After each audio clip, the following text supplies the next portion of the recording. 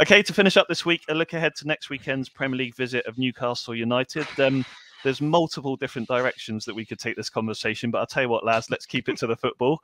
Um, Steve, I mean, they've obviously had a great start to the season, thrashing uh, Villa 4 0 yesterday. Um, let's be honest, it's going to be a tough game. Yeah, I mean, they uh, they murdered Villa, didn't they? Um, Stop it. Um, yeah, it was. I mean, that was. Yeah, I mean, I mean, let, us be brutally honest. Villa are a bad team at the moment, um, and Newcastle are not. Um, they're. I mean, they've got the best defence in the league, I think. Um, yep. Nick Pope has got what, six clean sheets already, so he's justifying the the money that that they paid paid out for him. Um, I mean, at the end of the day, Newcastle, while they've spent a lot of money, they've they've actually spent it really well and really sensibly. Um, there's not been any. I mean, Chris Wood is the only one really that's been that's been massively overpaid. Mm. But that was, I mean, they they reaped the benefits of that just by taking taking the centre forward off off a direct rival last season. So, I mean, they'll they'll be quite happy with with the the business they've done, and and yeah, Eddie, Eddie Howe's getting them trying to get get them into a into a functioning team. And I mean, he's even managed to get get a tune out of Miguel Almiron, which um, I mean, I do wonder how how much influence Jack Grealish's uh, fairly mm-hmm. stupid words in um, uh, sort of on social media have, have kind of led to Almiron sort of deciding, right, okay, now I'm now I'm actually going to try try and be a proper footballer. Um, but yeah, they're they're they're a good they're a good side. They've got they've got a very very well drilled defence.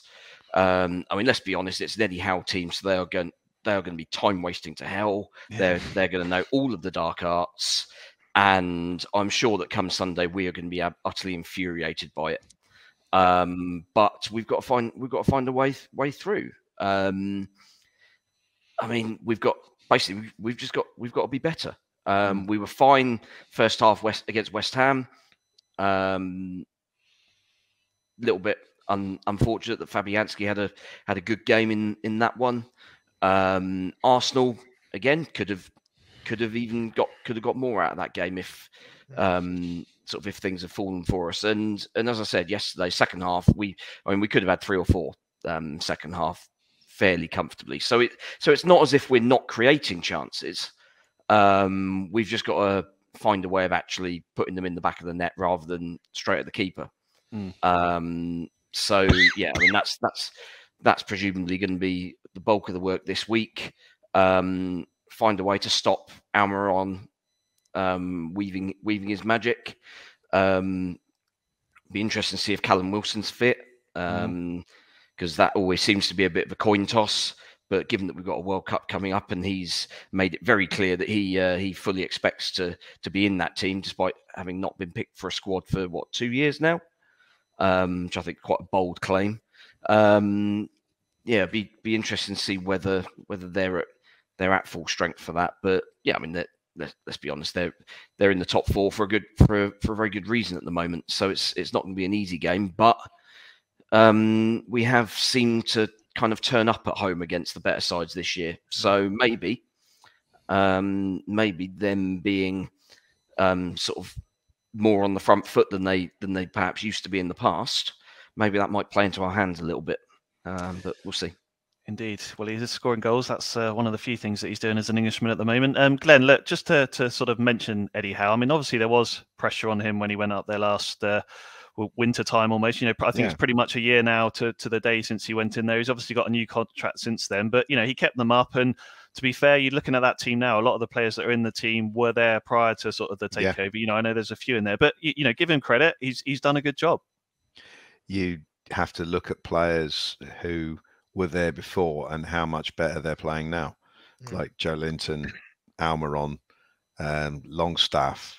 That you know, th- these are players that have, have, been there for a long time, um, and it goes to show that you improve when you've got better players alongside you. Um, you know, the quality they brought in with Bruno Guimaraes, whatever his name is, in midfield.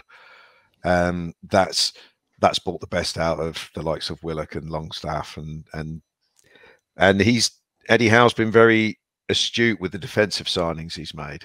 Um, you know, Trippier's an excellent signing. Um, wouldn't have been everyone's cup of tea because I think he was about 30, 31 or whatever mm. he was, but he he wanted him there as a sort of leader of the defence, and he's he's done that. Um, the centre halves, Schär and Botman, they're a good they're a good pairing. And the previous captain, Lascelles, he don't get a game now. Yeah. So uh, um, I think is Matty Targett injured?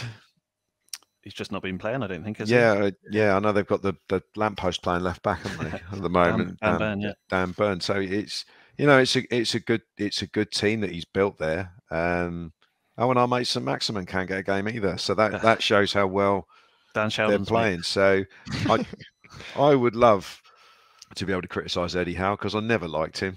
Um, when he was when he was at Bournemouth, it was just moaning. Him and John Williams were brilliant on the radio, weren't they? It was just like, my God, what is going on there?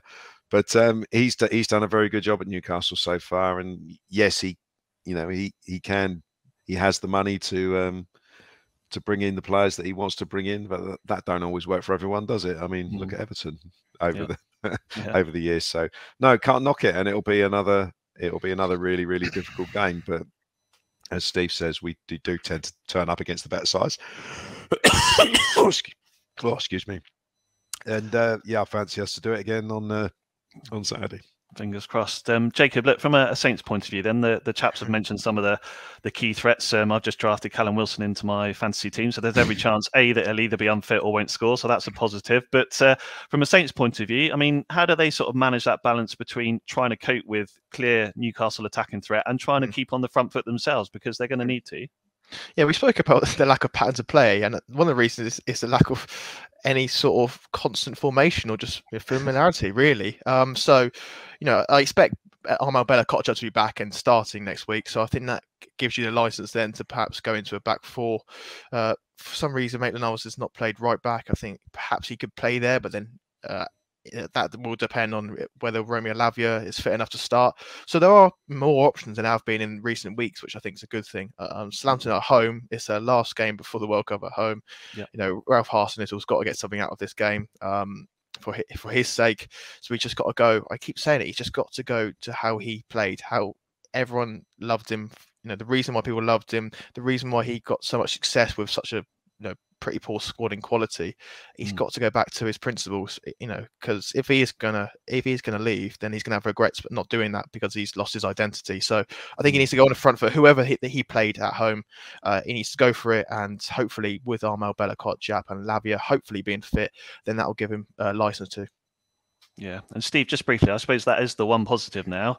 He's got a few options starting to come back. You know, if Bella Kotchap is fit, Lavia, you know, obviously he's only played 45 minutes. It's going to take him time to get up to Premier League level again. You know, you can't just chuck him yeah. in necessarily for 90 minutes. But Maitland Niles is a back, you know, available. There's there's some options there that he can now think this week about trying to put his best team out there.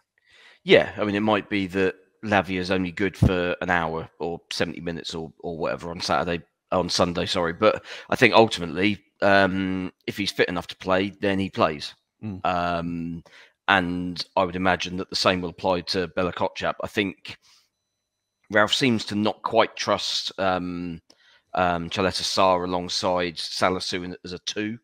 Mm. Um, so, especially when we don't have a, a recognised right back at the moment. Um, so, yeah, perhaps Maitland Niles slots in there, which is not ideal, really. Um, I mean, he's he's shown that he's very capable in the centre of the park, and ideally that will be where he'd play. But perhaps that's perhaps he then slots in um, once Lavia gets removed, sort of twenty minutes or so from the end of the game. Perhaps if mm. if that's the way we go. Um, yeah, have, having having a few options, and I mean also having um, a couple of players who have scored a few goals um, albeit against Middlesbrough under 12s or, or, or whoever whoever it was they were up against um, we'll this, um, this, afternoon. But yeah, I mean, at the end of the day, you can only beat what's in front of you. So um, mm. they got they got the goals, and hopefully that'll have that'll have done Mara and Walcott's confidence um, the world of good. I mean, Walcott's actually been fine, hasn't he? The, mm. the two the two sub appearances he's made, he's he's come on, and he's he's looked composed. He's not looked he's not looked off the pace actually, really, which is something that for the bulk of last season, he was miles off, mm. um, which is why we weren't, which is why he wasn't playing. Um, but yeah, I mean, we've we've got options, and yet at the same time, there's quite a few of those players that you just think, well, he's going to play him, he's going to play him, um, and I guess we'll we'll wait and see how how it all sort of how it goes in the mixing pot and comes out the other side. But mm. I think, yeah, I I don't I don't really know what system he'll go for. Where I I'd be I think now if if as Jacob says Bella fit, um, I'd be surprised if we don't go back to a back four. Hmm. Um, even though we're playing against um, one of the better sides. Um, just because I think I think I think we would rather have the ball than not. Mm. And and being able to put an extra guy in midfield enables us to exert a little little bit more control over things. Yeah. Um, and certainly not get overrun through the middle like like we were at times in the first half yesterday. That's for sure. Yeah.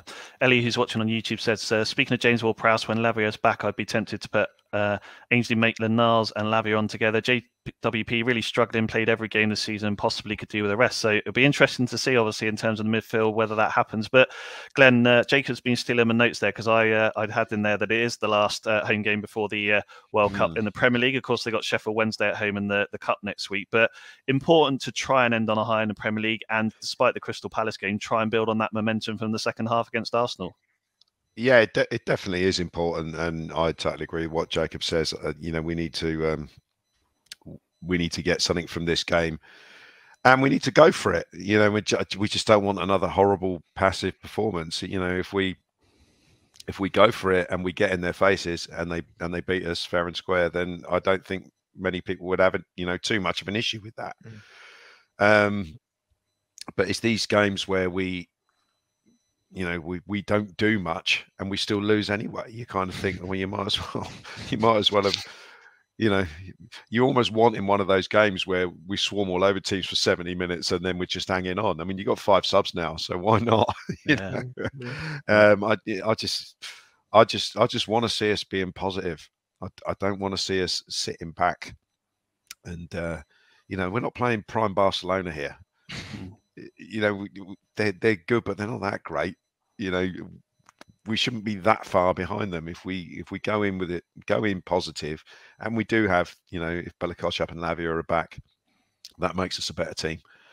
Um, so, yeah, I'm I'm I'm quite I'm quite hopeful that we can uh, we can do something in this game. And uh, I, yeah, just to echo Jacob's point, I think for, for Ralph's sake and everyone's morale going into the summer, we we certainly need to.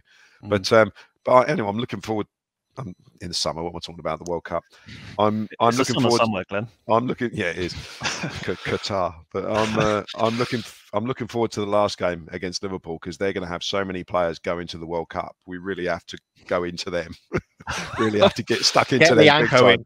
Yeah, see, many of them fancy it. I'm Yeah, deadly serious sure. about that because there's not many of our players that are going. So Yeah. so maybe that's- we'll get a nice a nice little win at Liverpool just before we go away because they're rubbish at the moment, aren't they? That's, that's one for you it. and you and Martin to chat about next week, I think. But uh, no, good stuff. Well, just on to predictions then. Uh, Alex, our producer, who admits to knowing very little about football, uh, was the only one to predict the uh, correct score from the uh, Crystal Palace game. He predicted them to win 1 0, so he got three points. So, uh, in typical TSP Prediction League fashion, he's now joint top of the league with Glenn uh, with 12 points. Uh, Steve and myself are propping up the uh, the table respectively. I can see. Some uh, predictions coming through already. Uh, Ellie saying 4 0, I'm assuming to Newcastle. Chris Walker, 4 0 Newcastle, not looking forward to it. Uh, I can see my dad's watching in Florida, which is great. Don't think Ralph knows what his best team is. Going to be another very difficult afternoon. Uh, Martin's gone for 3 1 to Newcastle. I'm going to get it out there early. I've gone for 3 new, uh, 3 0 Newcastle, sorry. So it's not a an optimistic start. But Jacob, what, what are you fancying? Do you know? what? I think the reason why I'm so bad at this prediction thing is that I think I've gone for Saints to win every game apart from Man City. but so I'm going to continue that and go two-one Saints. 2 1 Saints. Excellent. Very optimistic. Glenn, what about you? Um, no, I don't know. I, I, I, I, I will go for a draw. I will go for a one, one, one draw. One on draw. Can't all right. speak. Sorry. Steve, Steve, to finish the uh, set. Um, yeah, I think a draw as well. Um, I'll go for the thriller, nil nil. Clean sheet. Cool.